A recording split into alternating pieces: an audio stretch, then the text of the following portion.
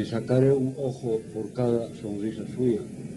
Me moriré una vez, dos veces, tres veces, cuatro veces, mil veces, hasta morir en sus labios.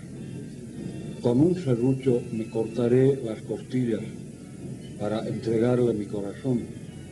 Con una aguja sacaré a relucir mi mejor alma para darle una sorpresa los viernes por la tarde, con el aire de la noche cantando una canción. Me propongo vivir 300 años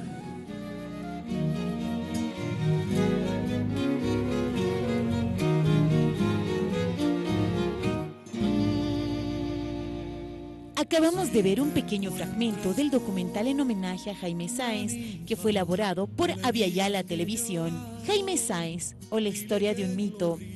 Un documental de investigación que fue elaborado por la periodista Saraí Amorós, cámara y edición Gabriel Huiza, postproducción Jorge Aguilar. Este material audiovisual fue merecedor del Premio Nacional de Periodismo al Mejor Documental Televisivo 2018 que lo otorga la Asociación de Periodistas de La Paz. Yo pienso que el mito lo han hecho los seguidores de Jaime Sáenz, ¿no? Porque Jaime Sáenz era un hombre muy normal, pero claro, un escritor muy prolífico y muy talentoso, extremadamente talentoso. El mito se lo ha creado, incluso él mismo ha ayudado, porque de alguna forma eh, hablan de misas negras, eso es un absurdo, yo creo que es un, era un ángel, un niño, un corazón bendito. Jaime Mito creo que es una construcción social, varias construcciones sociales desde diferentes imaginarios que han distorsionado el verdadero ser de Jaime Sáenz.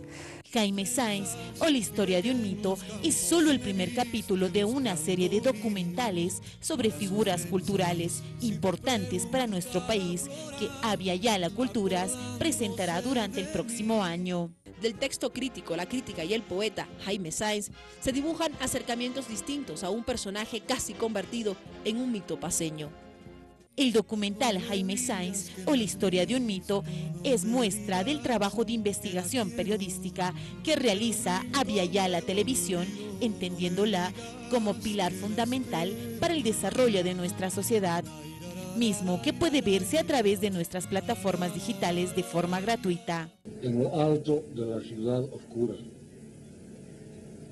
una noche en una calle bajo la lluvia en lo alto de la ciudad oscura, con el ruido a lo lejos, es seguro que suspirará.